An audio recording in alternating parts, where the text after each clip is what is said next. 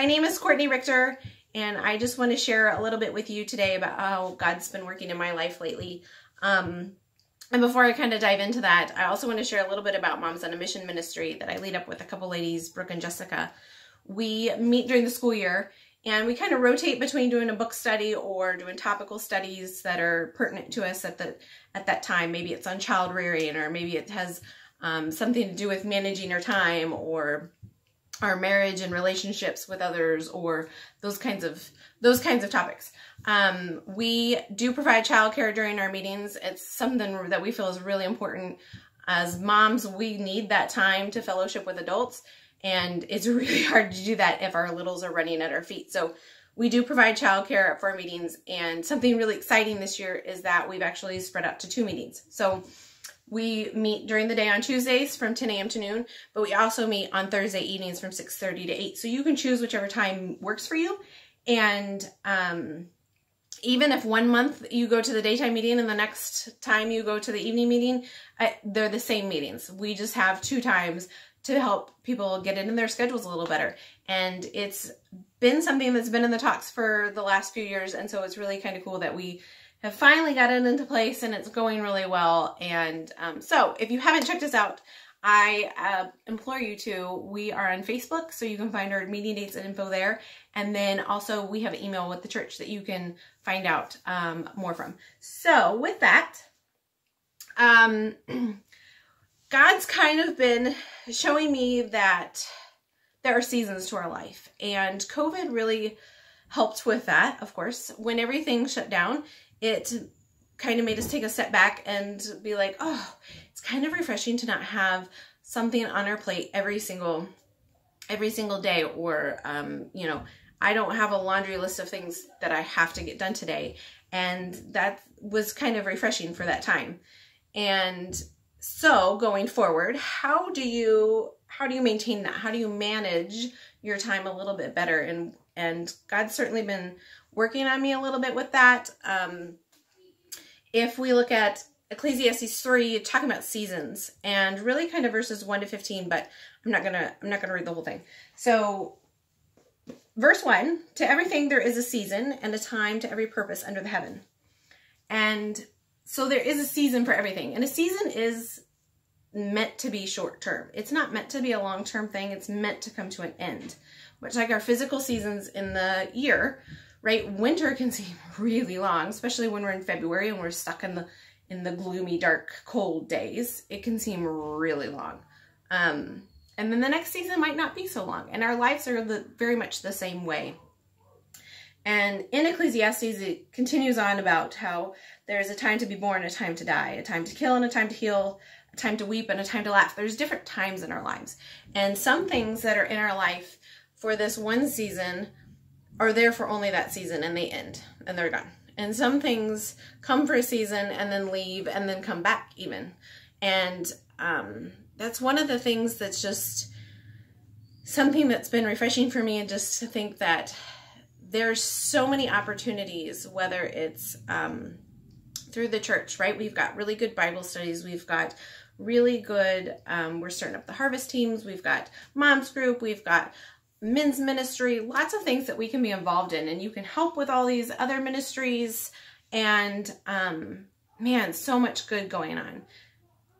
I could put my hand in every single thing and if I wanted to, but um, well, maybe not the men's ministry, but you get what I'm saying. I could choose to do every single thing if I wanted to. Um, but it doesn't mean that that's good for me. It doesn't mean that that's the right time for me. The same thing with our kiddos. We can look at doing sports. We can look at doing music. We can look at doing, um, you know, karate or gymnastics or, you know, going, um, doing competitions for them or all these things that they could do. They could do art classes. They could do drama classes. They could do all these things.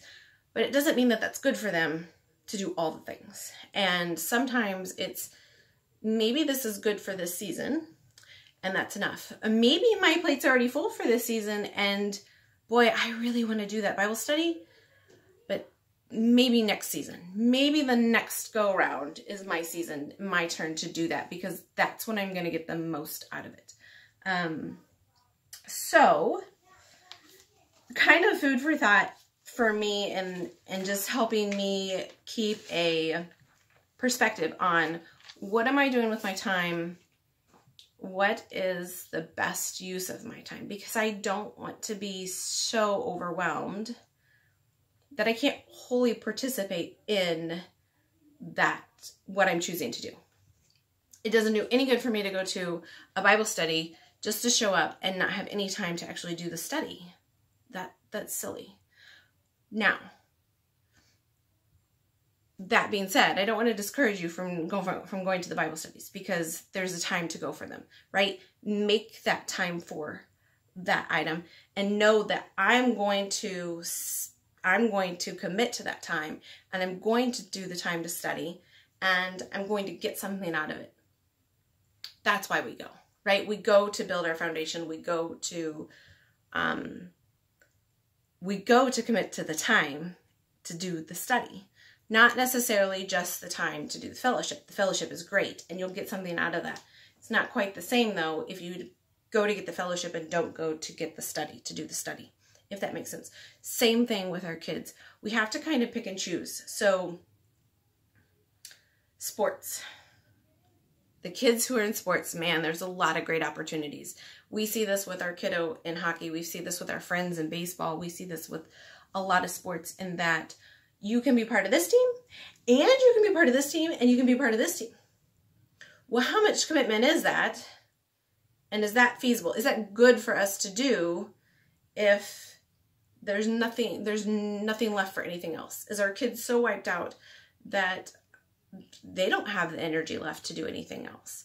And so then the rest of our lives become kind of bogged down because we've got so much on this one this one activity that we're doing, but it's taking so, it's consuming so much. So, um, this is kind of what, um, I've been kind of having to focus on in that sometimes something that's really good for me is really good for me at that moment and sometimes it's really going to be better for me at another moment another season in my in my time and um I hope that's helpful to somebody who maybe who may be trying to figure it out as well. If you have any um, you know, encouragement or if you have any experience in something similar, I'd love to hear from you just because it's still something I'm working through. trying, you know, it's just they say it's a balance act. I'm not it is a balancing act. It's kind of cliche, I feel like to say, but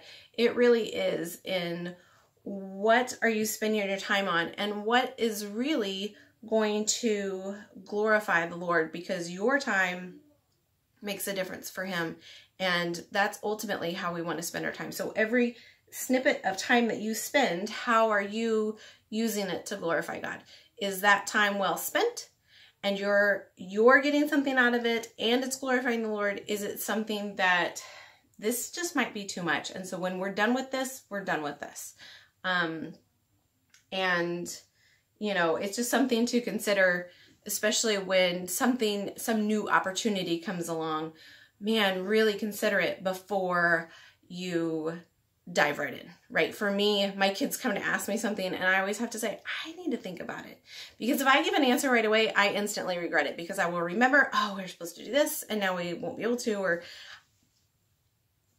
there's no harm in taking time to pause and think about things before you commit to them.